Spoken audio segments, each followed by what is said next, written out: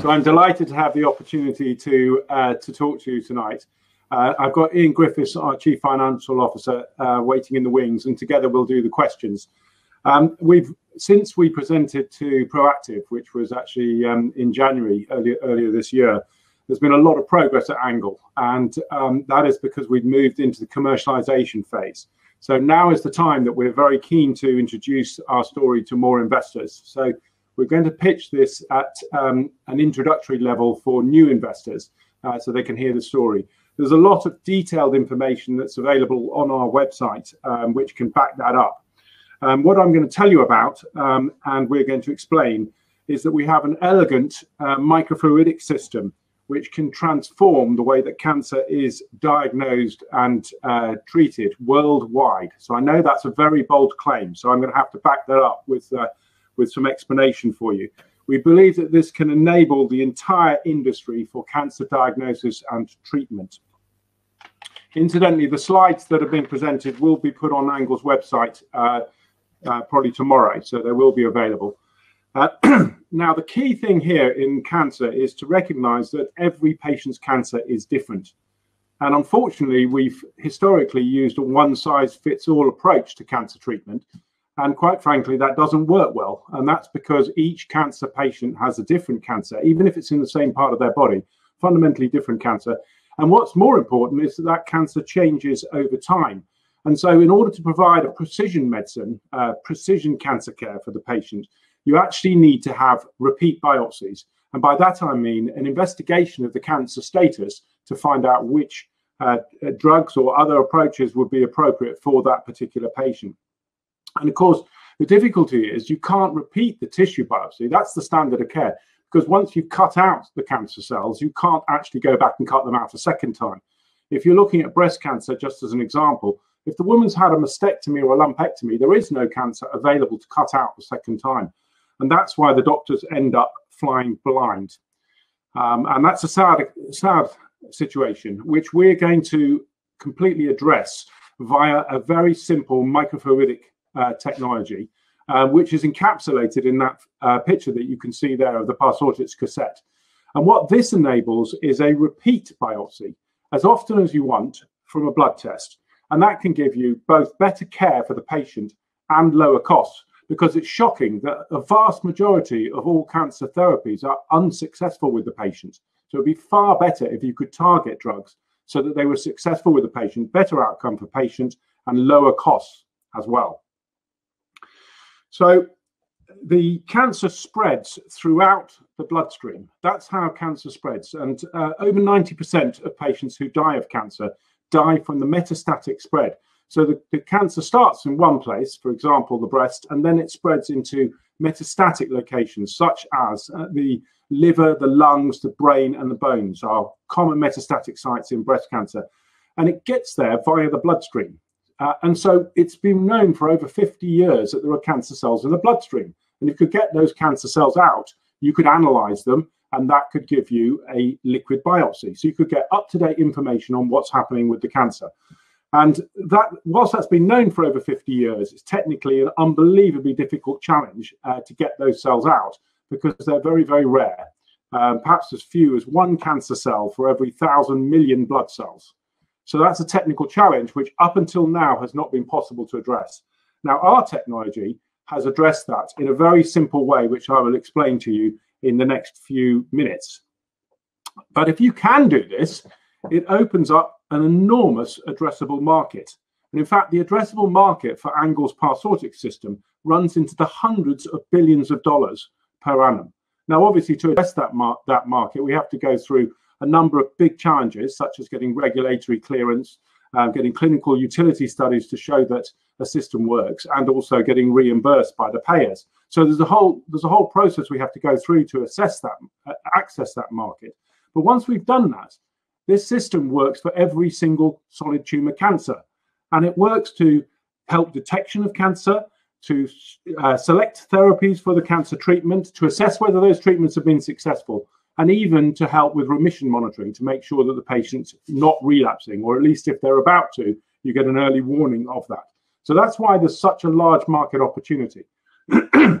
And our, our technology is actually unique um, in, in this space because we're focused on living cancer cells in the bloodstream. Not only any old living cancer in the bloodstream, but actually cancer cells that are spreading the disease. And remember, I said that over 90% of patients who die die from the spread of their disease. So these are clinically relevant, living, intact cancer cells from which you can analyze everything that you would like to from a tissue biopsy. You can look at DNA, RNA, and protein expression.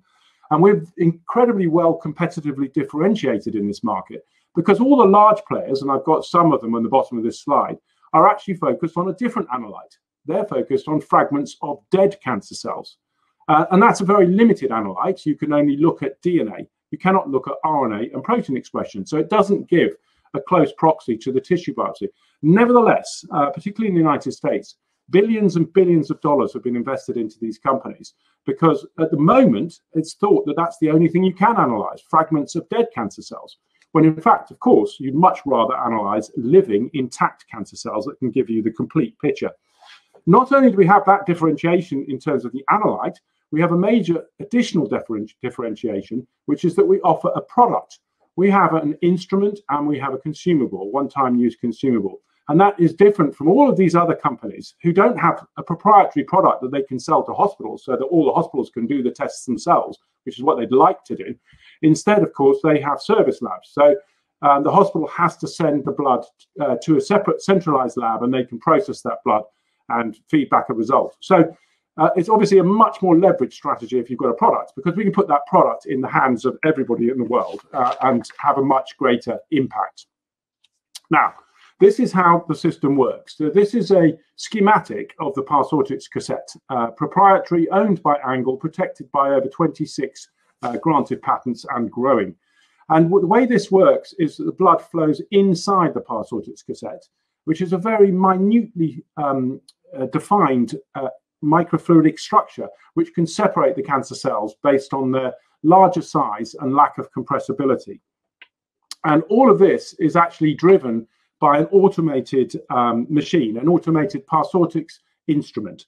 Um, and this instrument uh, enables the user just to add a, a standard tube of blood uh, to the middle of the instrument there and then hit go. And the machine will automatically flow the blood through the Parsortix cassette and separate the cancer cells because they're larger and less compressible uh, from the blood cells. Uh, so Thomas, if we could have the first video, please.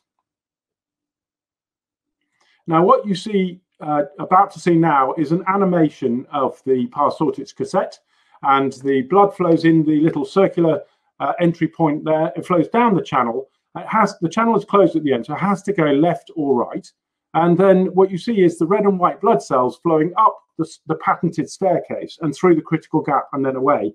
And the cancer cells, which are green in this uh, imagery, are shown being held at the final critical gap. And what that's done is it's very, very simple, easy way to separate the, the cancer cells, even though they're in one in a billion, from the other cells. And if we could have the second video, please, Thomas. Whoop. Yeah, here we have the second video. Now, this is a real metastatic breast cancer patient's blood flowing in a real cassette, 100 times magnification under a microscope. And at the top there, you see the input of billions of red and white blood cells going up the staircase and then through the critical gap which is why they're single cell deep at that point. And then this is the exit channel. And in a second, you're going to see a single captured cancer cell in amongst these billions of other cells. And there you, there you see it, held gently against the critical gap, the final step. And this is such an easy and simple uh, system, such that the cancer cells are retained and the other components are flowed away from the from the, uh, um, the cassette, leaving you just with the Parsortix um, captured cancer cells. And now we're going to move back, back onto the next slide. Here we go. Um, and th this characterization has been done now by multiple cancer centers. In fact, we've got 43 peer-reviewed publications written by 28 independent cancer centers who've used Parsortix to investigate different aspects of cancer. Every single one of these reports has been positive about the operation of the Parsortix system. And they've shown that it works in 24 different cancer types. In fact, it's never not worked. Um, we've had a whole series of different uses of this technology that have been developed. And as Sarah mentioned in the introduction, esophageal cancer was um, announced today as one of the lead, leading cancer research centres showed their results with Parsortix. And this is now accelerating. There are more and more cancer centres using our system for research, generating revenues for us at the same time and proving out potential uses of our technology. So the system is very well characterized with over 100,000 samples having been processed uh, in the Parsortix system. Getting um, an, a, a, new diagnostic system utilized is a big challenge. And one of the challenges is getting regulatory clearance, which means getting government approval to use the, technology. And we put an enormous amount of effort into this. We've had five years of work already, and we're in on track to be the first company ever in the history of the world to get a system cleared by FDA, which is the global standard, for harvesting cancer cells from blood for subsequent analysis. We've done that work with four of the top cancer centers uh, in the United States, including the number one cancer center, MD Anderson. And we've de developed, um, we had to run 15, over 15,000 samples, and we developed over 400 technical reports and documents in order to make a submission to FDA. Um, we're delighted that we're now in a substantive review with FDA, and we believe that there's a good opportunity for us to get an FDA clearance in this year, before the end of this year. Uh, in parallel with this, we're also pursuing um, the alternative regulatory clearance platform, which is to get an approved clinical laboratory so that can offer tests. And this is an accepted way to accelerate um, revenue generation and also to demonstrate out techniques for others to follow. Uh, we've already set up two clinical labs following a significant investment in recent times, um, which were opened just earlier this year. And these labs are enabling us to engage with potential customers and start um, generating much more significant revenues. And that's why I believe that uh, Angle has moved into its commercialization phase quite seriously with the announcement a month or so back that we've got our first large scale pharma services contract. So, as a bridge to the very, very large clinical revenues, uh, we, we're currently targeting pharma services, which means getting Parsortix used in pharma drug trials. Now, that itself is a very substantial market, uh, valued at an addressable market for Angle in excess of $1 billion um, can be gained simply from doing cancer drug trials. There are numerous, numerous cancer drug trials which can adopt the Parsortix system. And just to give you some idea of context, even, even though we've got uh, two pretty small labs, both of them are capable of 25,000 samples per year on a standard operating hours uh, basis, which is 50,000 a year in, in aggregate. These samples can be processed at between one and two thousand dollars per sample, uh, dependent on um, how much downstream analysis is done on the cancer cells. So it's a very significant near-term sales opportunity for Angle to build out our pharma services business, and we have a team of people who are specifically focused on that. And bear in mind that the large pharma cannot do this work any other way. They cannot do longitudinal monitoring, i.e., multiple time points via tissue biopsy because tissue can only be done once and they cannot do uh, RNA and protein expression via other approaches. So we have a, something that we're offering which is quite unique in the market, uh, and we're very well positioned uh, to drive that forward. In addition to that, our second area of commercialization, the second key focus at the moment is ovarian cancer. Um, and we've got a major clinical verification study running right now, um, which has completed patient enrollment and is due to report in Q4 of this calendar year. And if successful, and so long as it's uh, in roughly in line with the previous study where we've already shown best in class performance, area under the curve of over 95% in the detection of this hard to detect uh, cancer, ovarian cancer, then we will start to offer it from our labs. So then what our labs will also be offering an ovarian cancer detection test. And we'll be, uh, over time, adding new things to the menu of, of the tests that we can offer. So I'm nearly coming to the conclusion. I've tried to do this relatively quickly so there's maximum amount of time for questions.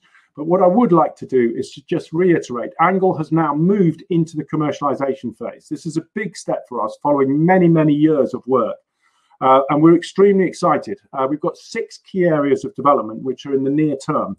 The first one is expanding the pharma services business. We've already proved now that we have a great product, and uh, the first customer has bought this. We're in discussions with multiple other customers. Second, we look, we're looking to have the first ever FDA clearance for a product to harvest cancer cells uh, from patient blood for subsequent analysis. And we believe that that can revolutionize the way that cancer is detected and treated. Thirdly, we have developed our own specific ovarian cancer test with headline results due from the study by the end of this year. And that should, fifth, move into uh, the offering of an ovarian cancer test uh, by the end of this year. We're working, uh, the, one of the other key things about this is a real differentiation of Angle is that we are not replacing incumbents in the industry. Instead, we're working with them and we're opening up new revenues for them. There are numerous large companies that offer tests that are based on analyzing cancer cells from tissue biopsies. And those companies at the moment are restricted to a one time offer of their test for a cancer patient because they can't have the repeat tissue biopsy. So, what we're doing is we're showing we can get cancer cells out and those cells can be analyzed with the existing techniques. And that means that the very large multi billion dollar companies that are already incumbents are not looking to be displaced, they're looking to be extended. We're offering them opportunities uh, to increase their revenues. And on top of all of that, as I mentioned, we've got a wide range of leading cancer research centers now who are doing their research with the Parsortix instrument. So we can we, we have a, a steady flow through of new publications coming through showing new potential uses, such as the one that came through uh, today. So we see this as a very, very exciting time for Angle as we begin to move into the commercialization phase, having done a lot of heavy lifting to get here. So we're very excited, and I'd like to open it up to questions and answers, and perhaps Ian can join us as well, please. Great. And if uh, we can't see Ian, we can certainly hear him. Can, um, you so hear me for sure? Definitely. Uh, yeah, I can definitely definitely hear you. Um, okay, welcome. Good. Apologies, my uh, camera seems to have stopped working for some reason. Don't worry, we can hear you. That's the main thing. That's Ian Griffiths, the financial director. Um, Andrew, I have to um, commend the website. Um, right at the beginning, you talked about the re- resources um, element of the website, and you go in, and it's this huge, veritable library of um, of all your work to date, the ones that are in the public domain. So, as you were saying to the investors, if the, if it's new investors tonight, then there is a veritable wealth of information there. Now, a watershed moment in 2020 was that full de novo FDA submission for the Parsortix system. And Tim um, Grassen asks, can you give us an indication of the nature of the two toughest questions asked by the FDA during the application and um, have those responses been submitted? Uh, so we're working on the, um, reply to the uh, AIR, the additional information request from from FDA. Um, and those, uh, the, what, it, what it was good was that it demonstrated they'd done a detailed review of our submission because the questions were very detailed, and you couldn't have done that without that review. Um, and um, to, to, Tim's uh, question regarding the hardest uh, points, uh, it's always outside of the Parsortix system. Uh, the questions are always things to do with well, what happens if you do certain type of downstream analysis? Uh, how how do the cells work for that? Um, it, that's been the, the, case all the way through. Actually, the FDA submission um, process was challenged by having to build a, a, a, a, model system that you could actually use to test how well the real system Parsortix works. So um, we, we're happily working away on those experiments. They're very close to completion, so that we can make the submission um, in response to that uh, requirement. So I'm wondering if John Williamson is on the FDA board because he asks, does the step capture sarcomatoid and mesenchymal cancer cells and can they be characterized? So does the step capture those two types of cancer cells? Yes, I, I think that he's probably most um, interested in the, um, the Americans pronounce it mesenchymal, uh, we call it uh, mesenchymal, but mesenchymal circulating tumor cells, which are ones which have gone through a transition phase uh, from epithelial to mesenchymal status. And uh, it's a very interesting question because the legacy CTC systems used um, essentially antibodies which bound onto cell surface markers, and they're only on the epithelial cells. So the mesenchymal ones, which are actually clinically the most relevant, are, are, are the ones missed by our competition actually our system works extremely well with those cells uh, and, uh, uh, and captures lots of them for analysis, which is the key. He asks a supplementary question as well is how can you guarantee decontamination between samples in your cancer drug trial work? Okay, um, so the first point about that is that um, the consumable, which captures the um, the cancer cells, is a one-time use consumable. So you use a brand new one each time. And the, sec- the second point is that the instrumentation is very thoroughly cleaned, and we've done very extensive uh, cleaning studies. That's actually um, an area that the FDA particularly want to know about. That there's no sample carryover, and we've had great results in, in relation to that. But that that is an area of development that took quite a long time. But that was a year or so back now. We were also having a question about those labs in the US that have just opened. Are they busy? And if so, how busy? Um, well, not as busy as I'd like in the sense that I want to be processing 50,000 samples uh, per annum, but busy in the sense that um, we have got our first large scale pharma contract, which is uh, great news. And we're working on various tests being deployed in those labs. And it actually takes a big a big effort to get clinical labs up and running. Um, we've been we've hired a team of people to work there. We're still building on that team.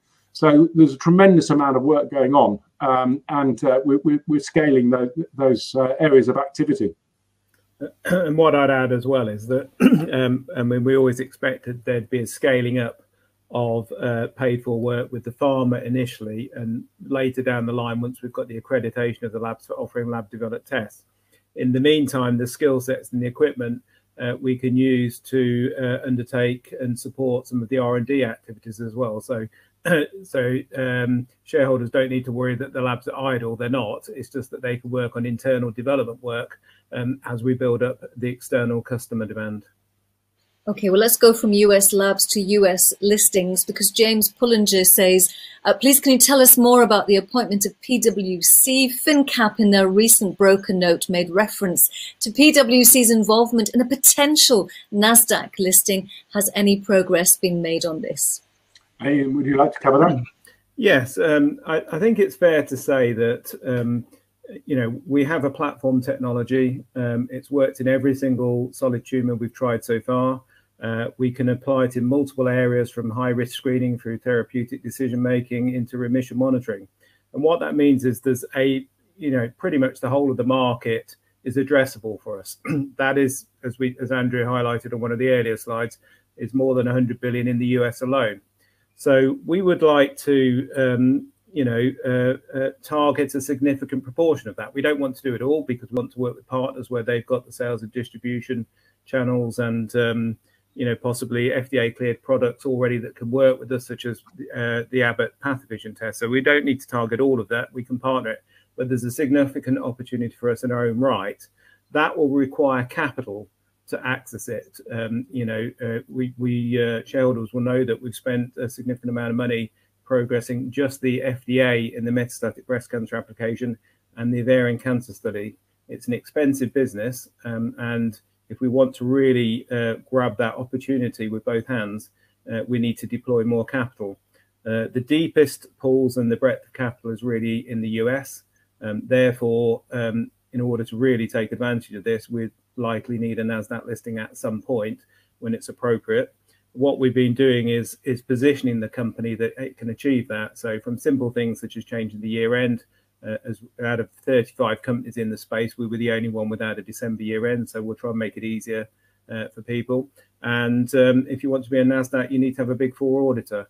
Uh, all these things um, take time. So we're lining things up. If the market is receptive and, and the market remains incredibly hot uh, for liquid box, I mean, just the other week, there was a, a sort of a another player in the uh, slightly different area, not the CTC space, but they, they raised 830 million there's been billions raised over the last year into the, some of the big players. Andrew had listed you know, the Grails who are doing screening to um, the Foundation Medicines and, and the Guardant Health. They've raised billions, um, you know, uh, as well as uh, potentially working with them. We, if we want to scale this business, uh, we will need a significant amount of capital as well, and hence preparing for a potential Nasdaq. Uh, we're not, uh, we've not made any decisions. There's no timelines with that. What we're doing is making sure that the company is fit for NASDAQ um, should we decide to go down that route. Okay, Ian, you mentioned Abbott there. Abbott's one of the big US majors, in addition to uh, Thermo Fisher and Illumina. Philip Stern asks If Illumina came along and offered £13 per share, could you say no? If you would say no, how would you justify that decision to shareholders? Uh, well, I can start on that, and then Ian, you can add if you want to. Uh, the first thing is it's a slightly funny number, 13. I don't know where you got that from, but um, uh, obviously, what, what you mean is if, if they offered a very large amount of money. Um, the the way that we look at it, uh, the commercialization opportunities for Angle's Parsortix system are very wide. So there's multiple cancer types and multiple individual uses. So with Abbott, we are working specifically on one particular thing, HER2 in breast cancer. Um, and that's what they're interested in. But other companies are interested in other pieces. So what we'd like to do is multiple um, deals with multiple different companies rather than have one individual company come and buy us. If if a large company, and obviously Illumina is one of the companies in this in this space, uh, came in and put in a large cash offer, like any other public company, we would have to put that to shareholders. However, we have been um, trying to work very closely with our existing large scale institutional uh, investors, the two biggest being uh, US investors. Uh, and they very, very clear with us that they want us to build a very large scale business ourselves. They do not want us to be bought out. But ultimately, it would be a matter for shareholders. Yeah, and I, would probably add we would uh, possibly prefer it wasn't Illumina because they, they picked up Solexa back in the day, which is a Cambridge-based company. They paid 600 million for that, and that was the backbone of the um, uh, of the sequencing technology they've got, and that's a company worth 60 billion now. So um, uh, they do have history in this area, and we are seeing quite a few of, of the UK companies being picked up by um, uh, some of the um, uh, US players as well. There's um, some other activity in the ctDNA space not long ago. But as Andrew said, you know, our, our, approach is we're trying to build a significant business. There's no reason why we can't, with uh, sufficient access to capital, that we can be uh, one of the major players in the market.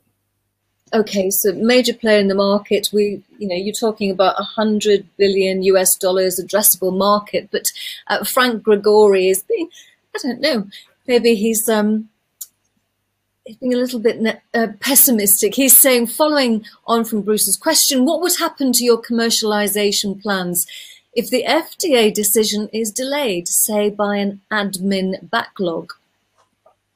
Uh, so FDA is a product clearance, and um, it's very worth pointing out that despite it being a $100 billion market, there is no company with an FDA clearance for doing what we're going for. None of them.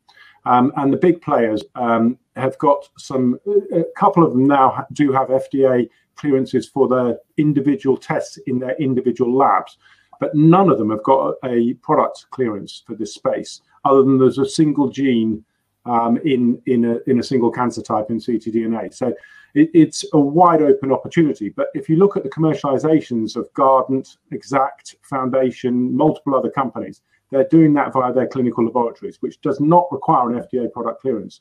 So we are building our pharma services business, for example, which, as I mentioned, is an addressable market of over a billion dollars in, in its own right. That is a clinical laboratory business. It has nothing to do with FDA product clearance. So we're running uh, a dual track uh, policy. Um, our ovarian cancer test will be a lab- laboratory developed test in our laboratory. So it doesn't have to have FDA product clearance. So we, we have a very strong commercialization model, irrespective of FDA product clearance. That said, when we get the FDA product clearance, we will be the only company in the world with that clearance. And we think that that will mean that hospitals all over the world will want to adopt our system and researchers likewise and pharma. So it's a big, big price, but it, it's not it's not a winner takes all. It's not the only string to our bow hospitals all over the world. Brian Marshall asks, has Angle made any direct contact with NHS purchasing managers? Um, we have spoken to NHS and we are developing as many uh, contacts as we can. Um, the, the, reality is it's actually, unfortunately, somewhat uh, challenging to access uh, UK NHS uh, services, but we are seeking to do that. And we actually believe that our offerings could help with some of the COVID 19 uh, backlogs. Um, now, we fully recognize that to be adopted by NHS or any other um, hospital system, we need to have the appropriate clinical utility studies to back up the use of the technology. And if we were given the opportunity, we would happily partner with the NHS in order to deliver those kinds of um, clinical utility studies. So, for example, there are tens of thousands of men waiting for a prostate biopsy if if NHS chose to, they could do a blood draw um, on all of those men prior to them having a biopsy, and we could then compare results. So that's the kind of thing that we would offer to NHS if we had the opportunity. We've got one minute left, gentlemen. Uh, Bruce Anderson gets the final question. Uh, you're looking to capture meaningful revenues through full streams, I think it's more, uh, research use, pharma services, laboratory developed tests, and in clinical products. Which of these are likely to come through first, and which is likely to be the most important in the longer term? Ian, would you like to answer that? Yeah. So as Andrew's mentioned, the the pharma side of the business is research use sales. So we don't need the FDA clearance for that. Um, the pharma companies have money now, and they have a, need for CTCs um, because at the moment most of the pharma trials are run using uh, solid tissue biopsy, and that uh, doesn't give them what they what they need really because they want um, uh, slightly technical term, but they want to be able to undertake longitudinal monitoring, which means multiple or repeat tests during the trial, sort of before, during, and after. And so liquid biopsy offers them a chance there. And then the second element to this is, as Andrew's mentioned, is although they're beginning to offer that with ctDNA, it's DNA information alone. And pharma really wants to know is um, is a gene expressed or not, and that requires RNA information. So we think that um, we're in a, a, very strong position to be able to offer pharma something they really need, um, to get the best out of their trials. And if you look at some of the uh, immunotherapy drugs, um, such as uh, the Keytruda, which is based on PD-L1, uh, that's about $170,000 per course of treatment, but it may only work in 20, you know, 30% of the patients. And part of the problem here is they need to be able to identify who are the responders. That is where you need not just DNA information, you need RNA and you need protein information. They can't get that other ways on that current basis that they can with Angle. So we think there's a massive market there, and that will build um, in, and that's what we're targeting initially, and that will build significantly. And you know, um, but what the ultimate end game is, as we've said, you know, we're a product-based company, and what we're trying to do is get FDA cleared product that we can really, um, you know, get the Parsortix out in all these large-scale cancer hospitals who are uh, deploying it, using it on a day-to-day basis with all of their patients. Um, the lab developed test element can occur earlier than the FDA cleared product. And as Andrew's mentioned, is the business model for the majority. That is a very large market as well in its own right, but we believe the FDA cleared product is ultimately the largest market. So pharma to start off with, progress through to the lab developed test, which um, helps us accelerate some of the reimbursement codes that we need, but ultimately get into the FDA cleared product where um, that is the, the, the, the real market opportunity. Lovely, thank you very much. And of course, a big congratulations for that news last month about the uh, first large scale pharma services uh, contract that you secured. More of that to come, I'm sure, gentlemen. Uh, Ian and Andrew, thank you very much indeed. Thank, thank you very much, Karen. Thank you to everybody who, who listened in. Thank you. Cheers. Bye.